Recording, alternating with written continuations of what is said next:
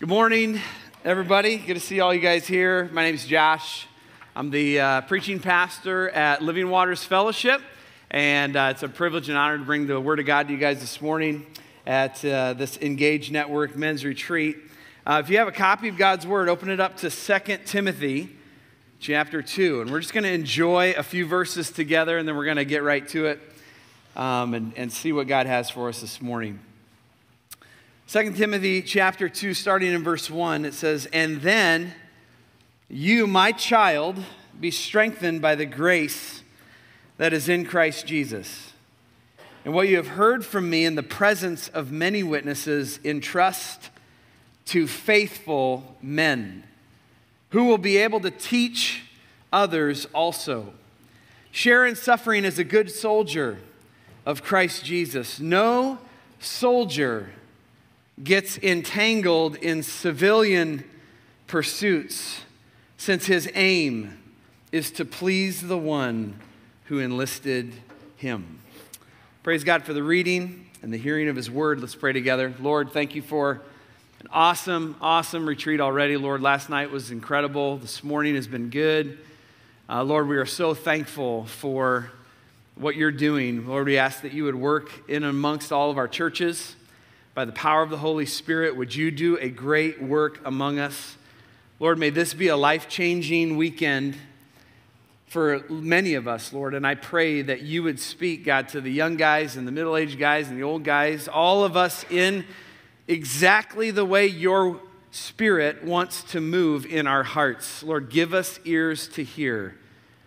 And Lord, help us to know and understand what your will is for us. And Lord, help us to be godly men, faithful men who love you, Jesus. We're so grateful for this moment. Lord, may you take my weakness and may you pour out your strength and may all the glory go to Jesus Christ alone. We pray in his name. Amen. Well, good to see all of you guys here this morning. Um, I know many of you, I love many of you from all the different churches. I was just overflowing in gratitude and praise as we were singing, and my hands were up singing to Jesus. And I'm so grateful for the brotherhood that exists in the Engage Network. And I'm so thankful for the pastors that I love and care for who are my brothers. And I just want you to know that there is something special that the Spirit of God is doing in the Engage Network. And I hope that you would agree. Amen? Yes. Yeah, that's a very Iowa clap. We can give Jesus uh, some praise. Okay, let's do it. Let's give Jesus some praise for what he's doing. There we go. I, I catch my church doing that at two sometimes. It's a very Iowa thing to do, very Midwestern. Like, are we going to clap or not? Are we, are we supposed to? Is it polite? Is it not polite? And sometimes I'm just like, let's just give Jesus like a rousing praise, and that's how it has to be. Uh, my sermon title this morning is Soldier of the Lord. Soldier of the Lord, based on verse 4. And you could add the word faithful there if you wanted. Faithful soldier of the Lord. Um, when we think about being soldiers for God and soldiers for Jesus, perhaps no movie speaks more clearly to that than Saving Private Ryan.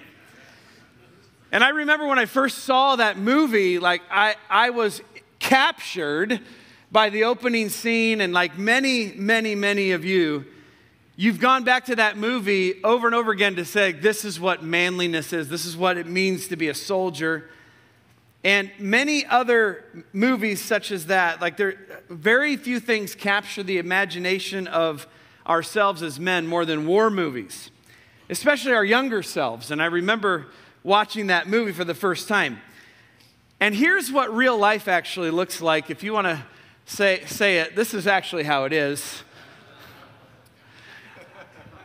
We get these visions of our lives like, dude, I'm going to storm the beach at Normandy. You're probably going to just lose your hair. Amen? That's probably what's going to happen. Prince William is more of the reality of middle aged guys. And many of you are middle aged guys like me, and you are thinking this often in your life what happened to me? I was young, strong, and ambitious, idealistic, motivated. Now I get hurt when I try to put my pants on. My body is betraying me. I don't know where I land in life because the old guys think I'm young, the young guys think I'm really old, and I, it's just weird, man. Life is just weird right now because I am in this middle stage of life. And as we prepare our minds to look into this verse in 2 Timothy chapter 2 verse 4, I just want to talk about middle age as a general statement.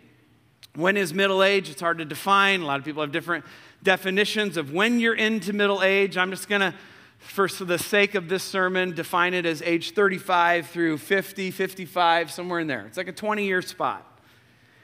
And the idea here is that when you hit middle age, there's a lot of things that come into your life that you just didn't necessarily see coming. And for many of you in the Engage Network, you are trying to spin a million plates right now. You're in this middle stage, you're drowning, you're trying to figure it all out. Life is happening to you more than you are happening to life. And here's just a few things that are challenges and pressures for men in their middle ages. One is increasing physical limitations. Some of you have increasing physical limitations because you're moving towards midlife. Paul Tripp said it this way He said, It's around age 45 that delusions of invincibility fade away. And I'm like, unless you're Tony O'Toole on the D line.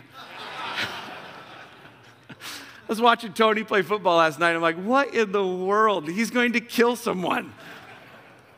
And he said, Josh, why aren't you out there? I'm like, because I'm smart. I'm smart. But I'm also a fool because I was playing basketball like 30 minutes later, you know, to the risk of life and limb. 2 Corinthians chapter 4, verse 16 says, Do not lose heart, though our outer self is wasting away, our inner self is being renewed day by day. In middle age, visible decline, vis- visible physical decline is in full force. Your outer self is beginning to waste away. And I had that thought this morning. I played basketball probably a little bit too much and probably a little bit too late. And I, I got to bed late. I slept for, you know, whatever you guys slept, you know, four hours or something. And I'm waking up and I'm just like, what did I do? That was a mistake. And I thought, where's the Tylenol?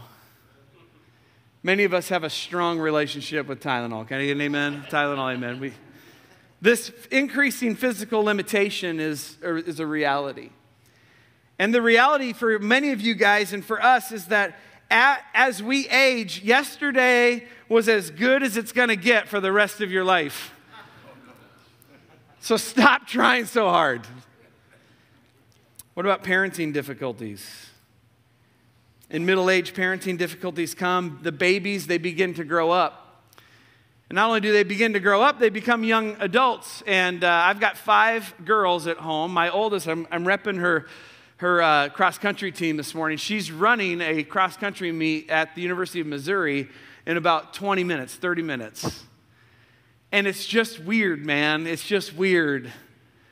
Because ultimately, those babies grow up and they and they get educated and they start talking back and they have thoughts and they have words and then you become dumb and embarrassing all the time can i get an amen middle age you are dumb and embarrassing dad and i get that often and you guys get that too we have a strong counseling ministry in our church and nobody comes into the counseling ministry and into my office and say pastor i'm doing so well at parenting teenagers I just need you to talk to me and give me a little dose of humility because I'm doing so good at it.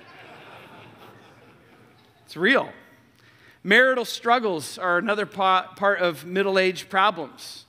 Marriage struggles, you slide into these difficult realizations. If you are married and not divorced yet, you are in this place where you have settled. And you've settled into some kind of rhythm, and you know that it's not all healthy. You know that. John Piper says it this way middle aged marriages have settled into some kind of 20 year coexistence with long discovered differences not being worked out very well, and they're still functioning as irritants between the husband and the wife. The peace and the pleasure that the husband and wife used to enjoy and hope that would get better have been replaced with some kind of truce, with neither he or she offering the affirmation and joyful partnership like they used to. And that dream seems to be drying up from what they had hoped it would be. Middle age marriage is communication frustration, sexual frustration, lusting, maybe no sex, not enough sex, looking elsewhere for sex. This is the common tale of the middle aged man. Marriage is hard and it gets harder. Another common struggle for middle aged guys is caring for aging parents. This is 10 to 20 years of what some people call the silent trial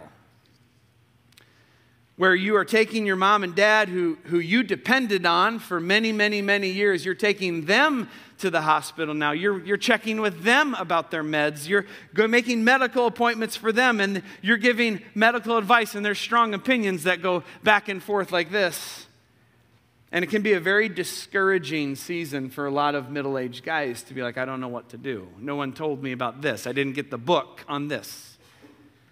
Then there's vocational disillusionment for middle aged guys that are, you know, I'm never going to get to the top of the mountain. Some of you are walking into this room saying, That's exactly where I'm at. I, am realizing I'm never going to get to where I dreamt I would be when I was in my 20s. And there's this disillusionment that happened. And there's also maybe a, a reality, too, that maybe you did make it to the top of the mountain. Maybe you did do everything you wanted to do, and now you're in middle age and you're like, dude, is this all there is? Is this it? Then there's emotional grieving that happens at middle age for guys. When you lose your heroes, you go to more funerals you lose the people that have meant the most to you. There's more sickness. And then there's just individuals around you falling all over the place by the wayside. And you're wondering, what in the world am I supposed to do? And, and we have a slide here of some different men that have fallen in our generation. The last time I preached at this men's retreat was like 12 years ago. You know who was all the hotness back then? Mark Driscoll was all the hotness back then, 12 years ago. And I preached at this Engage men's retreat, and there were this guy, he was just, Mark Driscoll could do no wrong, man. Some things have happened to Mark Driscoll, if you haven't noticed. Tony Evans, Brian Houston, Steve Lawson recently, James MacDonald, Josh Harris, among others, Ravi Zacharias, very painful revelations about his life after he died.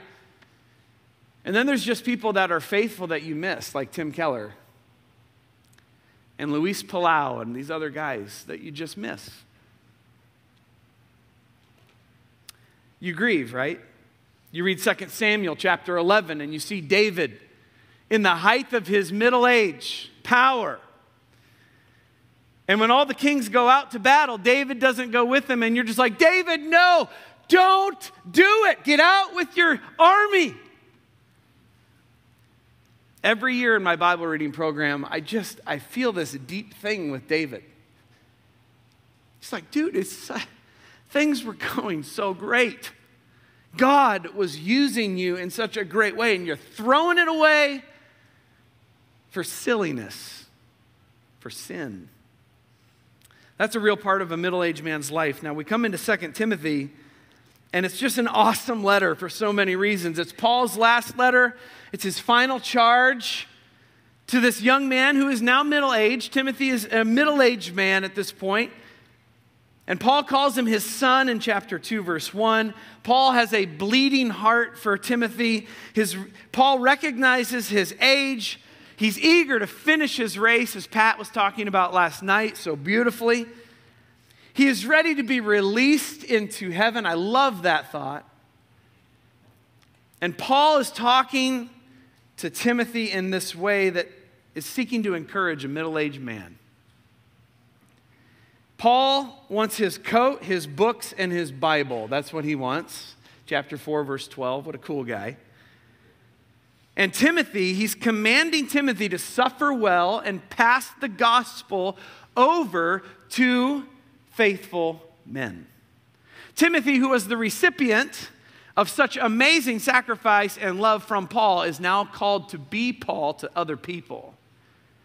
And for those of you who are middle aged, that is exactly the plan of God for your life. We have been poured into by Pat Nemmers and Dave Heisterkamp, amongst many, many other godly older men. And we've enjoyed that season of being poured into. Hallelujah for the glory of God. Middle aged guy, it's time for us to take the baton. Amen. And you start pouring your life into other men who are faithful. Lots to say about that. Anyway, we'll move on. Paul is commanding Timothy to suffer well and to be a soldier for the Lord. A lot of middle aged men you might be here this morning and you have lost the, the, the, feeling of being a soldier for Christ. You had it when you were younger, you were fired up for Jesus in your idealistic younger years, and now you're just like, I guess my life is maybe not so much of a soldier as I thought. And I'm here to encourage you and tell you this morning, we need to hear the voice of our commander, Jesus. We are still soldiers for the Lord. So you might be asking the question can I still be a soldier for Jesus? Can I still do it? I'm right in the middle. I'm right in the middle, and I don't feel like a soldier anymore. Yes, you can hear the words of Jesus. And this is my big idea as we come to this verse. As soldiers of the Lord, men, of all ages, especially middle aged men, need to hear the life saving exhortations from their commanding officer.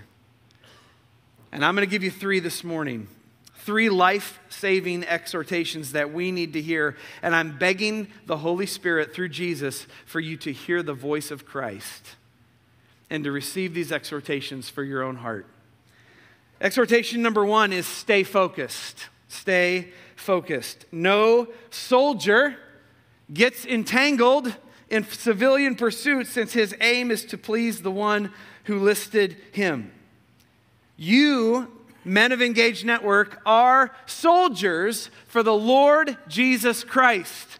Stay focused. A soldier is a warrior, a man on a mission. A soldier is a man who is in active service with the aim towards pleasing his commanding officer. In Christ, you are soldiers for the Lord, and your commanding officer is Jesus. Listen to what Charles Spurgeon said. He said, A spiritual soldier is a practical man, a man who has work to do in dust and smoke his garments are rolled in blood. His sword is all hacked and dented armor. He is bruised in his shield, and he does it all. He gives his whole life to Christ to win souls and to serve his king, and he must be ready to lay down his life. Being strong in the grace of Jesus, enduring suffering as a good soldier is the right way to focus your life. Jesus is your commander, and you are his soldier. Stay focused. Stay focused on your identity. You have been bought with a price. Some of you might be like, man, Jesus is my, my commander. Who says? Jesus says. Jesus says, You are mine. You are my soldier. By what cost? By the cost of his own blood. Jesus hung on that cross and he resurrected from the dead, not just to give you eternal life, but to enlist you into his army. So 1 Corinthians chapter 6 verse 20 says you've been bought with a price. Glorify God in your body. Remember who you are and whose you are. Men of middle age, remember who you are and whose you are. You are mainly Jesus's, and you are his soldier. The world's going to tell you everything else, every other message possible, that you are this, that, and the other thing. But Jesus cries out from the cross and the resurrection and says, You are mine. Remember who you are and whose you are. Many men of my age, middle age, have forgotten that. We're more consumed with other things. And I'll get to all the categories, but you know those categories in your own heart. My first message that we need to hear from the commanding officer is to stay focused. Your identity is mainly found in Christ, and you are a soldier for the Lord. Secondly, stay alert. The second exhortation from the text is to stay alert. No soldier in, gets entangled in civilian pursuits, since his aim is to please the one who enlisted him. You are a soldier for the Lord Jesus Christ. Stay alert to that which would distract you. Soldiers can get entangled in civilian pursuits. Civilian pursuits refers to anything that is normal, anything that is everyday life. To be a soldier for Jesus, you have to avoid the entanglements of civilian affairs. The civilian affairs are what will we eat and what will we drink and what will we wear for clothing. Matthew chapter 6. You guys are thinking about budgets. You're thinking about your kids. You're thinking about um, your cars. You're thinking about your travel. You're thinking about your schedule. You're thinking about all these other things, and all of these things multiply in America. America is the Disneyland of the world. We have so many civilian distractions that we get drowsy spiritually because we have so many opportunities to distract ourselves with a million things. So, for middle aged guys, there is a civilian pursuit that you can get involved in. And the command from Jesus is stay alert. Do not let yourself get distracted by all the things that are pulling at your heart.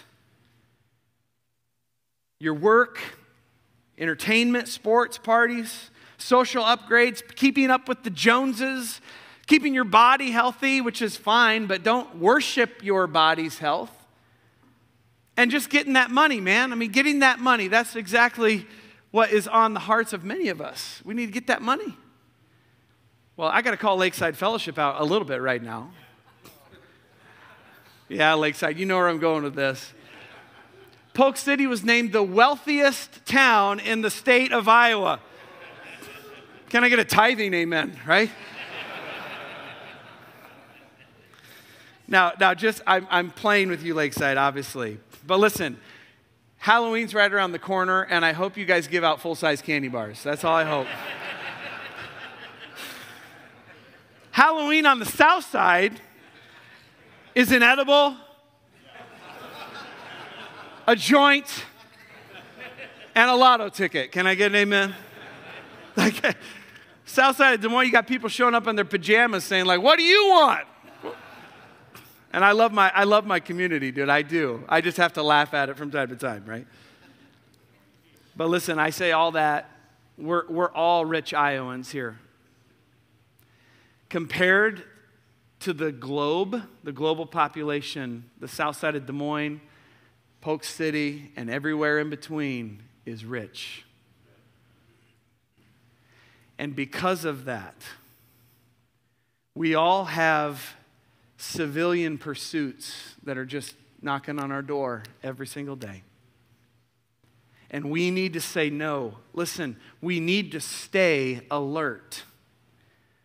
1 Peter chapter 5 verse 8, you all know this verse. Be alert and of sober mind. Your enemy, the devil, prowls around like a roaring lion seeking someone to devour. Satan wants to wreck your life and he wants to wreck your life through civilian pursuits. He wants to wreck your life through your riches. He wants to wreck your life through your comfort. He wants to wreck your life through your entertainment. He wants to wreck your life on all the things that look really, really attractive to you. John Piper, again, to quote him, he says this to middle aged men Don't leave your wife don't leave your ministry. Don't buy a motorcycle. Sounds like a Piper thing, doesn't it? Don't get a sailboat. Don't throw everything you've built away. This kind of stupidity has captured many men at this moment. Don't throw away some of the most valuable things in your lives to try to make something out of silliness. Some of you are middle aged guys and you're walking in and you're on the precipice of throwing everything away over some lust over some civilian pursuit that you are considering, and I am pleading with you stay alert and run away. Run to Jesus. Our commanding officer is telling us to stay focused and to stay alert. And finally, he's, he's encouraging us to please him. We are to please our commanding officer. No soldier gets entangled in civilian pursuits since his aim is to please the one who enlisted him. You're a soldier for the Lord, so seek to please the one who enlisted you. A soldier has a goal, an aim, and you can see that word please in verse 4. It means to literally accommodate, it, accommodate your desires and your interests to the enlisting officer. You're here for his mission. You're here for his joy. You're here for his pleasure. And you have an audience of one as a soldier for the Lord. You want to please your commanding officer. Why? Because he commands you so loudly? Because he tells you, I need you to obey me and you're not going to enjoy it at all? That's not our Jesus, right? That's the world. The world will say, just do it, man. Just Nike that thing. Just do it. Suck it up. Well, I'm not here to tell a men's retreat group of men to just suck it up. I'm telling you to obey your commanding officer because you love him and he loves you. Here's the reality this is not some cold, dutiful command about Jesus Christ. We obey Jesus and move all of our seeking to please Him because we love Him. Jesus said it this way If you love me, you will keep my commandments. We obey our commanding officer, Jesus, because we love him. And if you don't love him, you don't know him.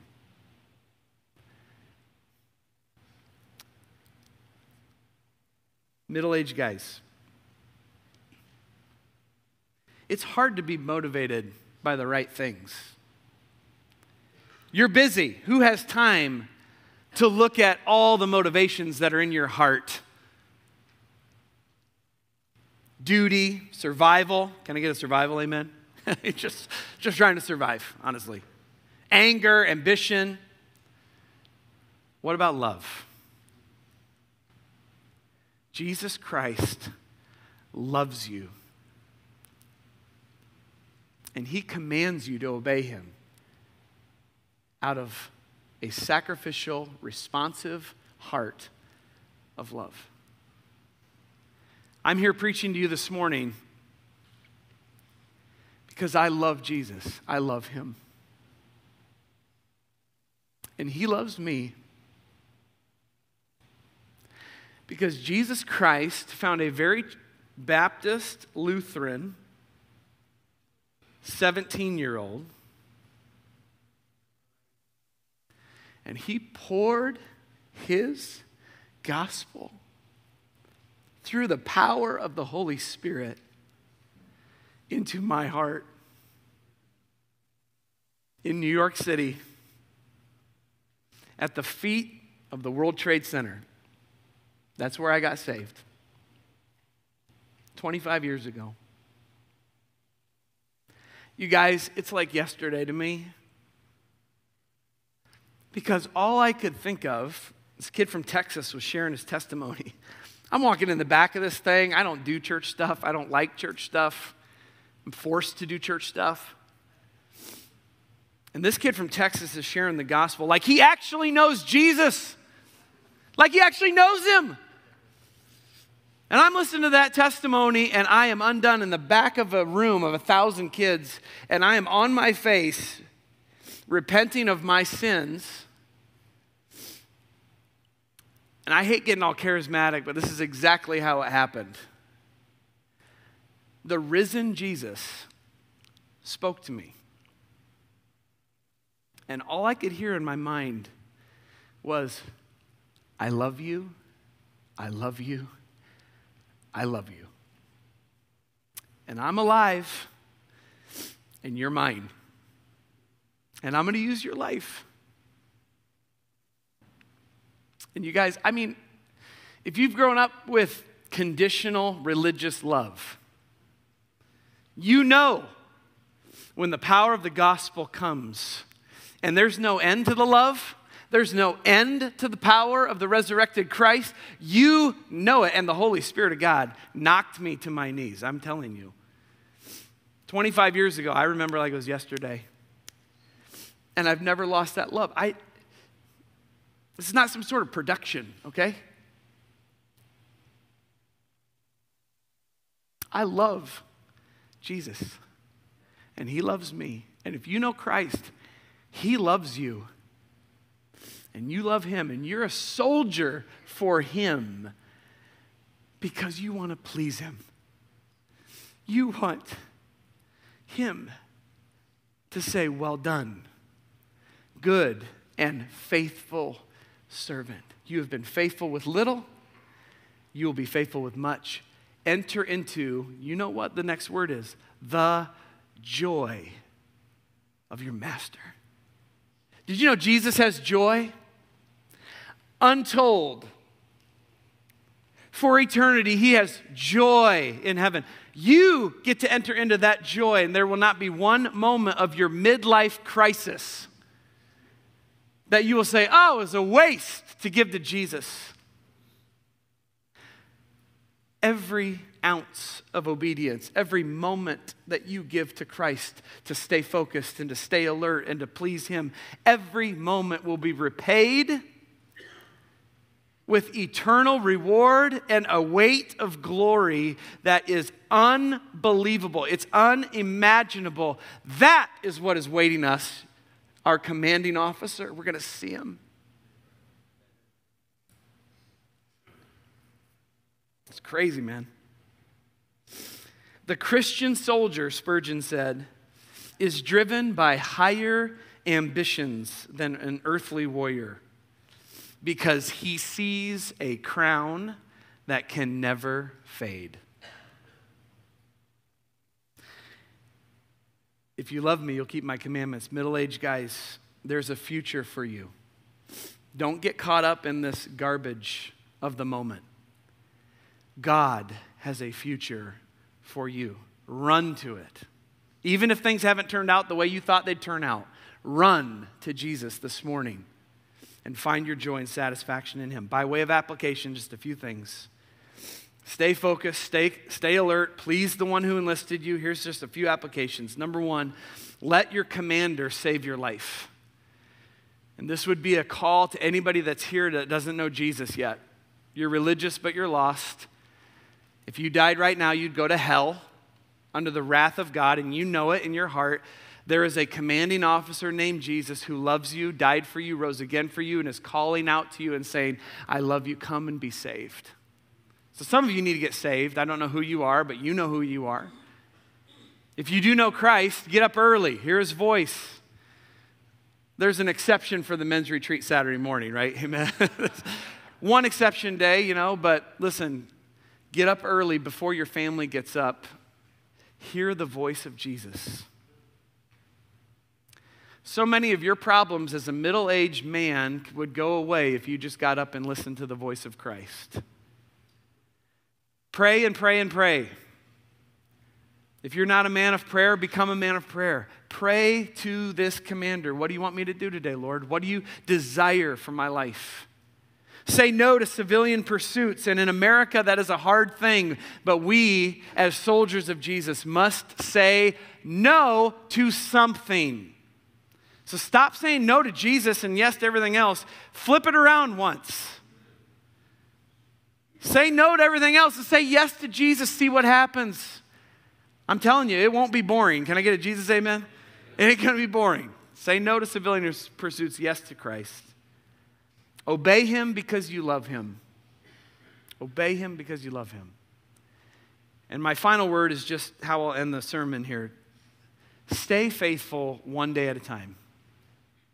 Some of you are middle-aged guys and you're like, I don't know, man, I have no idea. How do I do how do I do that? That seems like a lot of stuff. For most middle-aged guys, you're surviving. I mean, you're just keeping your head above water like this. I know that's how I feel often. Stay faithful one day at a time. You don't have to get next week figured out. Just stay faithful tomorrow, right? Stay faithful today. You can do it today. Whatever the Spirit of God is calling you today, just be faithful. Be faithful to your wife. Be faithful to your kids. Man, it breaks my heart that some of you are not there. It just breaks my heart. Stay faithful to Jesus. And then the rest of those categories as well by the grace of God. Let's hear our commanding officer's voice. These are life saving exhortations he's given us. Let's stay focused, let's stay alert, and let's live to please him. Let's pray. Father, thank you for this time together in the Word of God. Thank you for the joy of, of just enjoying the Scripture, Lord. This is a beautiful thing for us. We don't get this opportunity very often to be in a room with men who love you and men who are from all these different churches. But God, this is a holy moment. So, Lord, I pray for all my brothers in Christ who know you as in, in Jesus, that they would stay focused, God, alert, and they would live to please you. And Lord, for anybody that doesn't know Christ, I pray that this would be the morning of their salvation where they would repent and believe. God, do it. Give us joy in the journey. In Christ's name, amen. Thanks, guys.